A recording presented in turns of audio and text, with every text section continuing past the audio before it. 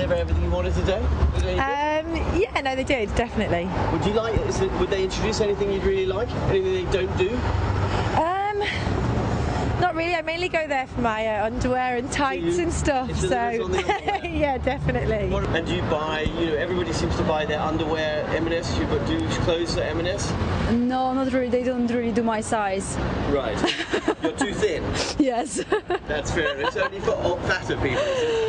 Is it? I mean, they really do from size 8 up, and some of and the size 8 it's quite big. It doesn't really. What do you use them for? Uh, for lunch? And is there anything that you'd like them to do they don't do? Ah, I don't know. Um, maybe more variety of sushi because I'm Japanese. Do you buy clothes at M&S? No, I don't. You don't? Everybody buys underwear. You don't buy underwear. Ah, underwear, yes, I do actually. You do buy- I do only underwear. Yes, yes, yes. Do you buy your underwear there? Yes. But do you, and do you buy underwear from here and clothes? And, Yeah. Yes, no, we're quite happy with it. I'm the best dressed man by M&S. I bet you are.